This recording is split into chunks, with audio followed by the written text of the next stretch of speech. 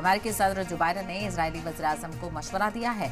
उन्होंने कहा है कि राफा में फौजी अगर ऑपरेशन हो तो शहरियों की हिफाजत और सिक्योरिटी को यकीनी बनाना ज़रूरी है। शहरियों के तहफ़ के बगैर राफा पर फौजी कार्रवाई न की जाए। वाज हो कि रफा मिस्र की सरहद पर फलस्तीनियों के लिए वो आखिरी पनाहगाह है, जहाँ इसराइल की बमबारी से बचने के लिए फलस्तीनियों ने पनाह ली हुई है। लेकिन अब वो भी महफूज मकाम में शामिल नहीं है। अमेरिका, यूएन और बहुत सी हुकूमतों ने नेतन्याहू के शहर पर हमला करने के मंसूबे पर गहरी तशवीश का इजहार किया है। आपको बता दें कि रफा में तकरीबन चार मिलियन लोग रहते हैं। बहुत सारे लोग खेमा लगा कर रह रहे हैं। इलाके में पानी और दवाओं की किल्लत की भी शिकायत है। अमेरिका इंतजामिया के एक सीनियर रहलकार ने कहा है कि मौजूदा हालात में वाशिंगटन, राफा में फौजी ऑपरेशन की हिमायत नहीं कर सकता, क्योंकि राफा में कसीर तादाद में लोग बसते हैं। बता दें कि इसराइल के पीएम ने एक इंटरव्यू में कहा था कि शहरियों को महफूज रास्ता फराहम करते हुए राफा ऑपरेशन आगे बढ़ाएगा। इसराइली पीएम का ये भी कहना था कि राफा में दाखिल होना हमारे लिए बेहद ज़रूरी है। इसी बीच हमास ने इतवार को इसराइल को खबरदार किया है कि राफा में जमीनी कार्रवाई बंधकों की रिहाई को खतरे में डालने जैसा है। हमास के एक लीडर ने कहा कि राफा शहर पर इसराइल की जानब से कोई भी हमला बंधकों की रिहाई को खतरे में डालेगा। और तरफ़ हो कि यूएई, ओमान और ओआईसी ने राफा ऑपरेशन के मंसूबे को खतरे की घंटी बताया है।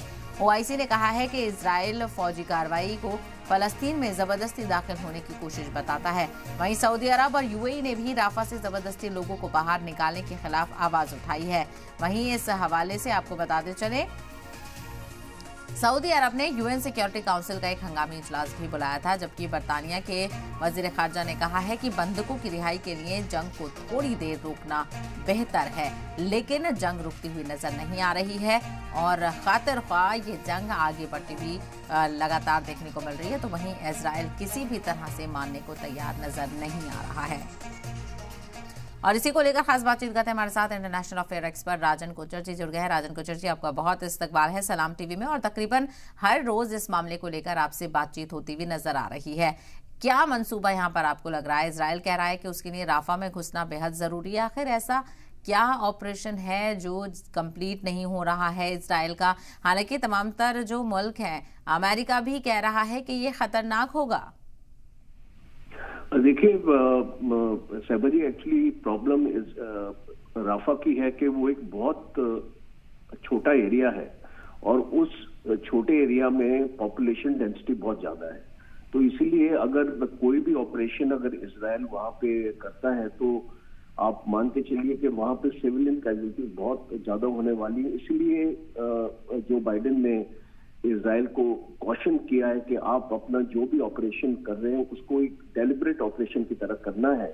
और उसमें गोलाबारी बॉम्बिंग एरियल अटैक्स वगैरह, वो आपको कम रखने पड़ेंगे। बिकॉज़ अभी जो एक मिलिट्री ऑपरेशन जब करते हैं तो पहले तो उस एरिया की आर्टिलरी और उसको ड्रोन्स के खत्म किया जाता है, उसके बाद ही फौजें अंदर जाती हैं।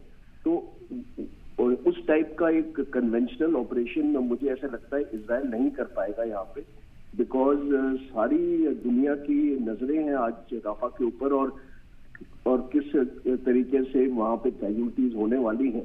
तो इसीलिए ये एक इंडिकेशन आ रहा है कि इसराइल को एक बहुत ही डेलिबरेट ऑपरेशन करना पड़ेगा क्योंकि इसराइल के पास कुछ इंटेलिजेंस वहाँ पे ज़रूर होगी कि वहाँ पे हमास मिलिटेंट्स तादाद में अपने छुपे हुए हैं हम्म। तो वो देखते हुए इसराइल ऑपरेशन प्लान कर रहा है बट इसको ध्यान से करना पड़ेगा बिकॉज़ अगर इस ऑपरेशन में कैजुअलिटीज होती हैं हम्म। तो अभी आप देख रहे हैं कि यूएई और सऊदी अरेबिया का अभी रुख बदलता जा रहा है हम्म। और अगर और इसको यूनाइटेड स्टेट्स ने भी एक चेतावनी दी है तो मुझे ऐसे अपने असेसमेंट में लगता है कि इसराइल केयरफुल रहेगा इस ऑपरेशन को करने में और उस तरीके से ऑपरेशन का अंजाम नहीं दिया जाएगा जो नॉर्थ गाजा में हुआ है